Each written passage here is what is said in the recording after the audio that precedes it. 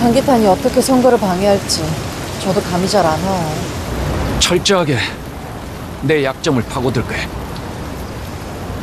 거기에 대한 대비책은요?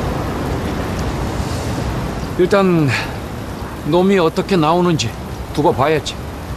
결국 대비책은 없단 말씀이네요. 선거가 코앞이라 대비책을 세울 시간이 없어. 어쨌든 일정대로 움직여야 하니까. 제가 어떻게 도와드리면 되겠어요? 뭐든 힘 닿는 대로 변 대표님 도와드리고 싶어요. 나한테 이러는 이유가 뭐야? 다른 의도가 있는 거냐고 묻는 거야. 저 이제 기댈 때라고 변 대표님밖에 없는 거 아시잖아요. 조직에서도 쫓기는 몸이고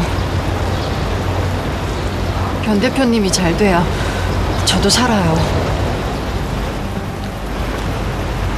걱정 마. 나 누구한테도 지지 않고 살아왔어. 이번 선거도 반드시 이길 거야.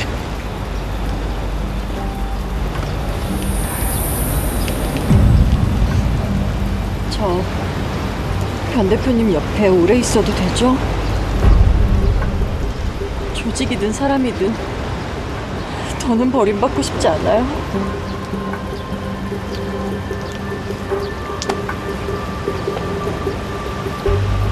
그만 사무실로 가봐야겠어. 혹시 저 의심하세요?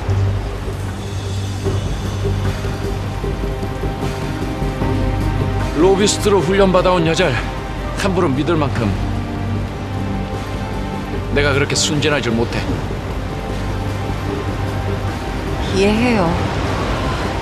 근데 곧 제 진심 아시게 될 거예요.